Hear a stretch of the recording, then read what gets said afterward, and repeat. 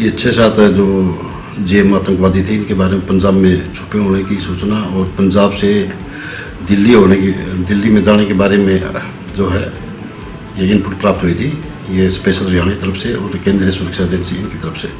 तो इस संबंध में श्रीमान एसपी साहब ने सभी प्रबंधक थाना और सभी चौकी इंचार्ज को, जो संवेदनशील स्थान है और जो महत्वपूर्ण स्थान है या भीड़ भाड़ वाले इलाके हैं, बस स्टैंड है, रेलवे स्टेशन है, शॉपिंग मॉल है और बाज़ार है उनको और होटल वगैरह है टैक्सी स्टैंड है, इन पर निगरानी करने के आदेश पहले दिए जा चुके हैं।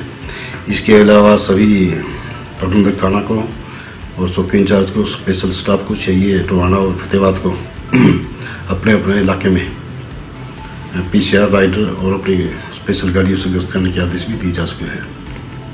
इसके अलावा जो है जो साथ लगते हैं, जो पंजाब और इसके राजस्थान के जो इलाके हैं, वहाँ पर नाकाबंदी के लिए नाके लगाए गए हैं।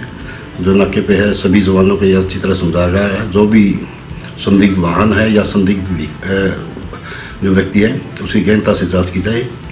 और अगर कोई इस टाइप का सस्पेक्ट आदमी मिलता है तो उसको मतलब उससे गहनता से पूछताछ की जाए। तो है, इको गाड़ी है, छोटी गाड़ी है।